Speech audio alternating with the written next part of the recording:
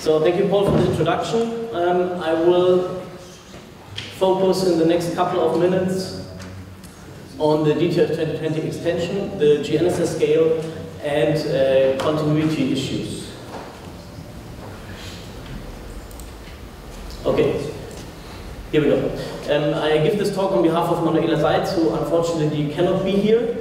Uh, let's first come to the IGS contribution of the DTRF 2020. It's based on the Repro 3 series, which realizes an independent GNSS scale through a disclosed Galileo and GPS block 3 ZPCO's values. For all other GNSS satellites, as you know, PCOs have been estimated consistently. That means in the DTRF 2020, the scale is, uh, com uh, comprises um, uh, and GNSS scale information whereby uh, GNSS provides by far the largest number uh, of uh, stations in the solution. You see here from the pie charts on the right that three quarter of the stations are GNSS stations and we introduced 90% of, uh, of the discontinuities for the uh, GNSS uh, ground network. When we have a look on the intrinsic scale time series of the Repro 3 series, here the dominating space constellation color-coded by the different GPS blocks and the Galileo information. You see from the first view that is a, it is a very stable uh, scale time series and it's improving over time, so the scattering is reduced with time. At DGFI, we apply the non-tidal loading corrections at the normal equation level, and this leads to a decrease of the annual amplitude from uh, 2.6 to 1 millimeter. However, the draconitic signal and its harmonics remain in this scale time series, but I have to emphasize here that the amplitude of this draconitic signal is not constant over time because it becomes smaller for uh, the newer satellites uh, coming uh, online. In the lower panel here, you see the intrinsic, uh, or you see the scale time series of the different techniques with respect to the DTRF 2020. In black and in pink, you see the GNSS and VLBI contribution uh, which are used for the scale realization in the DTRF. In purple and green you see the SLR and the DORIS contributions which have not been used in order to, uh, to realize the scale in the DTRF. Yeah, what impacts the scale realization? From this uh, drawing you see that all the techniques uh, face major or severe uh, background model updates um, comparing, the, uh, comparing the 2014 to the 2020 ITRS realizations, in particular for the ITS, you see that new phase center offsets for Galileo and GPS Block 3 had been provided, um, and general models like the secular pole or the non-tidal loading impact the scale realization um, in, in, our solution. When we talk about the long-term stability, um, we have first have to clarify what that means. A high long-term stability means that we are able to realize the linear development of the datum parameters with a very high accuracy, a very high precision, and a very high consistency over the whole time span. Uh, in terms of VLBI, we are talking here about 14 years of consistent scale information.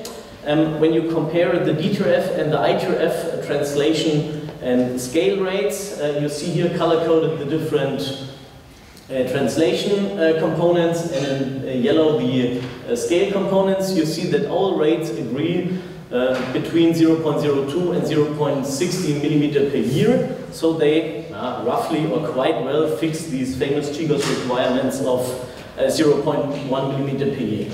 However, you see then when you look at the technique-specific scale rates, for example, you compare the X translation scale rate of GNSS with the DORIS X translation scale rate, you see that you easily end up with 0.2, 0.3 millimeter per year difference between the technique.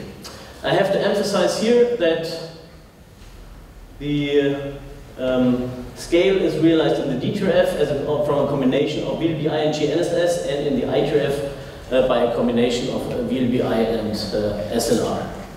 Yeah, what is the situation on the ground? You see here uh, technique-specific plots of the uh, stations sort sorted by the length of the observation time span. You should read a plot, a plot like, this, uh, like this from bottom to top. On the bottom side you have the smallest observation time spans of these stations, whereas on the top side you have the longest time series. You see this red line which indicates 15 years of continuous data of the specific station, and you easily see that SLR and provide somehow solid basis of overlapping station observation time spans which are longer than 15 years. For DORIS and uh, GNSS, the situation is different. We have here a very large number of discontinuities. As I said in the first slide, 90% of all discontinuities are introduced for the uh, GNSS network. And this uh, somehow leads to a fragmentation of the GNSS and the DORIS TRF uh, from the input data time series. Uh, and the, the, yet, the yellow arrow indicates the DTRF 2020 reference epoch, and you can easily see, for example, in the case of DORIS that you do not have very much stations from at the very beginning, which um, somehow observed also at the very end of this time series. So we have to introduce here technique-specific conditions in order to ensure the long-term stability or to stabilize the TRF realizations. And this is done at our institute by the implementation of uh, velocity constraints. We can apply velocity constraints on two consecutive solution numbers. We can um, apply velocity constraints uh, for intra-technique collocations and the combination uh, and at the combination of the techniques. This means for Doris we roughly introduced 120 velocity conditions, whereas for GNSS we introduced more than 1,300 in order to get a stable IGS solution from 1994 to uh, 2020. Coming now to the uh, update of the ITRF. So the ITRS Center decided to update uh, the 2020 realizations by extending the solution uh, by three more years of data. IGS provided this time series at the beginning or early this year, and this time series was split mainly into two parts, which differ with respect to the scale realization, the ground antenna calibrations, and the number of contributing analysis centers. So you see here, in the 2020 realization, we use the Repro 3 time series of IGS. Then we have until November 2022 the uh, extended Repro 3 time series, which has this, uh, which is based on the same ANTEX file, which is using the same um, scale information and the state positions which are estimated uh, consistently. However, the IGS operational solution then switched to a new ANTEX file and the scale is now in this solution uh, realized consistently to the ITRS, uh, ITRF 2020 scale. We also uh, faced the problem that new um, antenna calibrations had been incorporated, which requires that we somehow reprocess our solution in the following way. Backwards in time, we have to adopt for these new station positions. Forward in time, we have to adopt for the new scale uh, which is an, for sure additional effort for the combination center at our institute.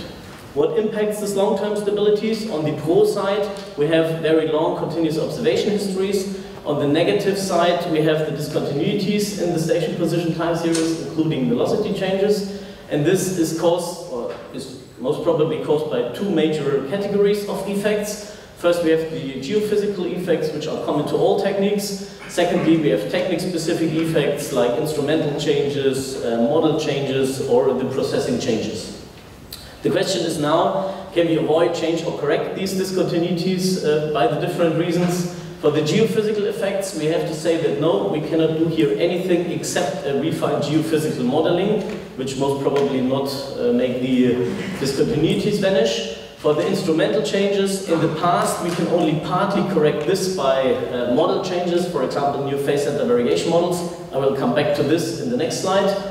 Um, in the future we can for sure avoid discontinuities by carefully change equipments at stations or reduce the changes. And for the model changes or the processing changes we can um, omit these uh, discontinuities um, when we do a reprocessing. I have to say that 60% of the discontinuities introduced in the IGS solution are caused by the instrumental changes or uh, model changes used uh, by the IGS ACs. Uh, here I show two examples of station position uh, changes due to the new uh, receiver antenna calibrations. The corrections have been made, made available by Paul. Roughly 280 stations are affected back to the year 2001, which makes it necessary to recompute the DTRF 2020 Fortunately, this correction can be applied at normal equation level. On the right-hand side, you'll see two examples, uh, Chimacum uh, in the US and Port Angeles in the US. From the upper panel, you see that when we introduce this uh, refined calibration, the discontinuity, so blue to red, is vanishing completely. So we can kick out this discontinuity. In the lower panel you see, unfortunately, the discontinuity is not vanishing, only the sign and the amplitude of this discontinuity um, is uh, changing a little bit.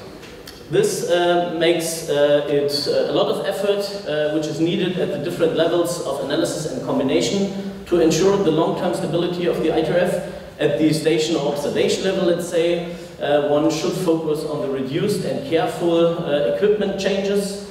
Uh, on the analysis level, homogeneous models and parameterizations should be used throughout the whole time series. A constant number of ACs, so we faced problems with the varying number of ACs between the Repro 3 time series and this new IGS operational time series. And taking this into account, we would uh, ensure a long-term consistent input data uh, series. At the combination level, uh, in case of the stable datum parameters, we realize technique-specific TRFs, and then we check if the technique-specific scale uh, should be accounted for an offset or a velocity. This was, for example, done for the ILS contribution in the DTRF 2020, which is not taken into account in order to realize the, uh, the combined uh, uh DTRF 2020 scale. So summing up, Discontinuities in station position type series, and this is affecting all techniques, limit the long-term stability.